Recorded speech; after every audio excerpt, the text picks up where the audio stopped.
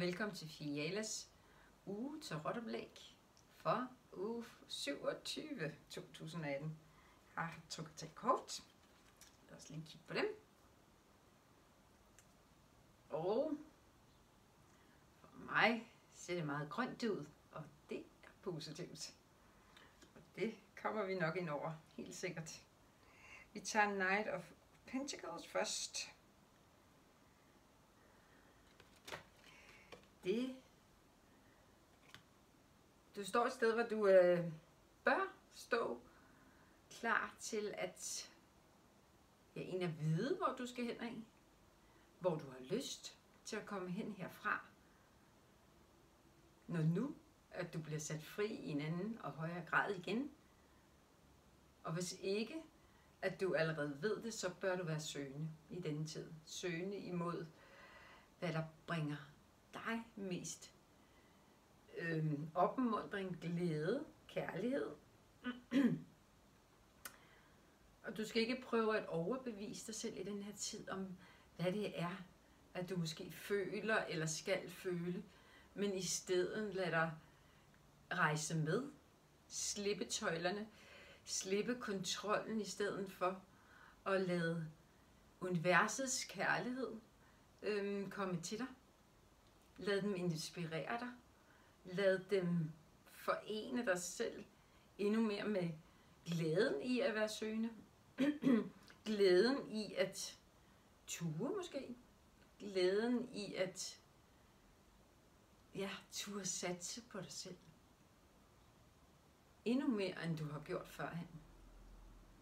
Det handler også om at ture stå i dig selv, øhm, uden at føle, at du skal eller bør tage dig i agt for noget, øhm, eller at du skal stå over for andre og fortælle, eller forklare, hvorfor du gør noget. Det er som om, at den, den, øh, de gamle programmer siger du farvel til, de gamle normer gider du ikke længere.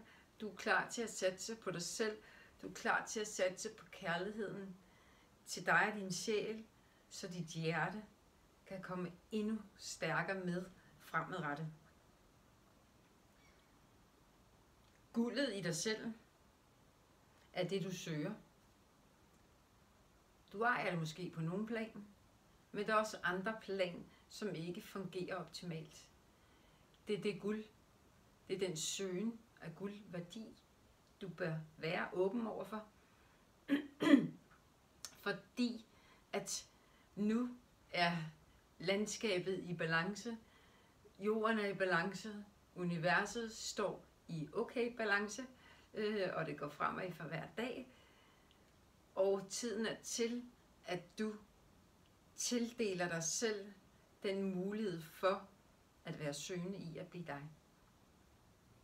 Det kan godt være, at der skal nogle skift til, fysisk, mentalt, øhm, følelsesmæssigt, men du bør byde det velkommen og acceptere, at det er sådan, at livet forandres. Det er sådan, livet bør takles. Og det er den eneste vej imod din egen lykke og opstandelse af lykke på flere områder i dit liv. Sats på værdier i denne tid. Sats på, hvad der er værdigt for dig og dit liv. Og Omring dig også med det værdifulde, skal jeg sige. Det var det, han havde med sig. Lad os se, hvad det næste kort byder ind med. Det er Eight of Wands.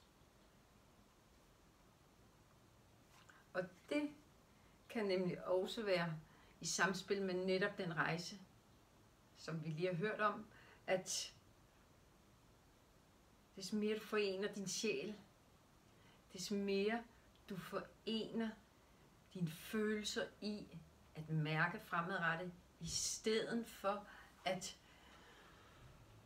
ville kontrollere eller evne at kontrollere, da det er program, eller at du selv måske vil finde løsningerne, fordi du måske er en kreativ sjæl. Universet er løsningen til alt. De finder løsninger, de er løsningen, de er med dig overalt. De ved dig det bedste, og de viser dig vejen.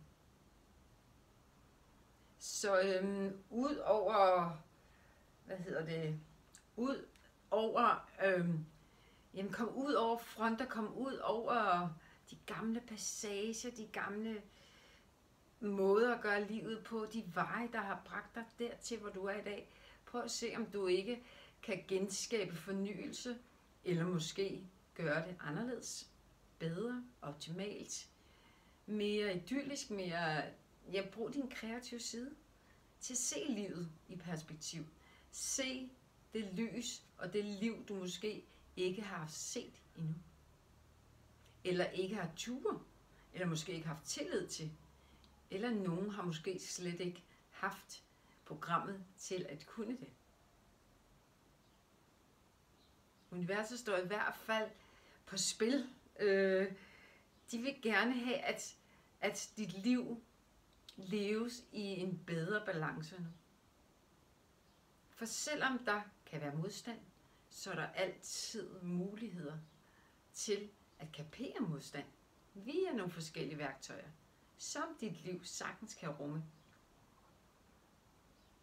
Værktøjer er der i din værktøjskasse, og hvis de ikke er der, så er det spørgsmålet om at komme ud og udvikle dig, så du kommer hjem med de værktøjer, der fungerer for dig og dit liv. Til og imod det optimale liv, som jo aldrig altså vil være flydende, kan være flydende, men der kan godt komme bumper, der kan godt komme lidt udfordringer, men det betyder ikke så meget længere, når dine egne værktøjer, de fungerer. Kærligheden til dig selv, din kreativitet, øh, er noget, du bør indse, øh, erkende, øh, tage helt ind under huden i dig selv, i din krop, din sind, din sjæl. For det er der, du forener kærligheden til dig selv. Det er der, du forener netop den kreative side, som jo kan skabe hvad som helst. Og hvad netop er rigtigt for dig.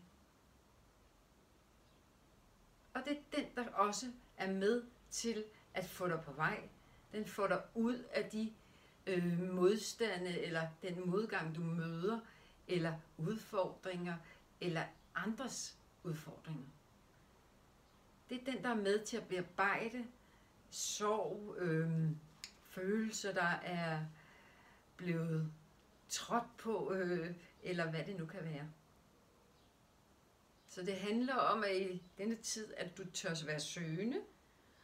Du ikke længere lader dig barrikere af, af gamle normer, gamle valg, forventninger for nogen, eller for andre, eller måske fra dig selv. Du kan sagtens bære rundt på nogle programmer, der ikke fungerer i dig. Noget tillært, nogle tillærte værktøjer, som bliver ved med at ville have dig over i at gøre tingene på den gamle måde. Men der er det, du skal have dine nye programmer ind. Du skal have ny indsigt ind via din egen udvikling, så du begynder at vælge dine værktøjer til dit liv, så det ikke forårsager modgang eller, eller bump på vej, men at du kan køre lige ud af landevejen herfra og fremadrettet. Selvfølgelig kan man ikke køre hele vejen ud og altid, men man kan køre så vidt muligt ud af den lige landevej, og så måske møde endnu mindre bump, men kun en gang imellem. Og det sker jo for os igen, fordi at ingen bliver færdig med at lære hernede. Det er derfor, vi er på jorden. Der er så mange ting, vi skal lære. Det er derfor, vi er her. Og hvis der ikke kommer bump på, på vejen længere, jamen så er du simpelthen i dit flow. Så er du der, hvor dit hjerte er med ind over dit liv. Det er med til at forme alt omkring din sjæls udleven, dit sjæls indhold, altså livets indhold, og hvad du selv indeholder osv. Så er du rigtig langt. Skal vi lige nu kigge på det sidste kort også. Det hedder Tin of Swords. 10 svær. Den tid er forbi. Du rummer alt for meget kærlighed til at tillade dette længere. Du rummer alt for meget renhed og muligheder for universets energi i, at du længere skal lade dig stoppe af, af dette. Den der med at ryge op i tankerne, den bør være slut. Det værktøj bør du få slettet. det værktøj bør du ikke tillade længere at bruge. Lad være med at sætte dig selv op i dit fængsel. Fængslet er dine tanker. Så vil du ud og råbe kærlighed, vil du ud og råbe kærlighed på alle plan, så er det væk med de tanker. Det er dem, der forstyrrer. Tanker kommer også fra andre mennesker. Andre, at du tillader andre mennesker komme dig nær, som måske ikke er givende eller opbyggende, men de skaber tanker. De skaber følelser i dig. Følelser kan være godt og ondt, hvis følelser er i negativ grad. Tanker kan, er ikke godt, næsten lige meget hvad. Du kan få en intuition, du kan få en øhm, idé, men at tænke er ikke noget godt værktøj for nogen som helst. Så, øhm, så lad øhm, dig selv i denne tid også huske at grounde dig selv. Byg dig selv endnu mere op i din grounding. Øhm, få lyst til at interessere dig endnu mere for dig selv. For at se om hvilke værktøjer måske du har med i rygsækken stadig. Øh, hvilke nye kan du lære. Og hvor er det, du kan slippe dig selv endnu mere fri. Måske via tankerne. øh, men når du så ikke er oppe i tankerne, så skal du ned og følge intuitionen og mærke. Det er redskabet til livets fremgang, til livets lykke, til livets nye opstandelse. Følg intuitionen. Følg de valg, som du føler for. Vælg det, du mærker, som er rigtigt for dig. Det, der kan give dig dit liv kærlighed. Så jeg vil ønske jer alle en fortsat god rejse, og jeg håber, I får noget ud af det. Og forvent måske livet herfra. Endnu mere. Vi ses.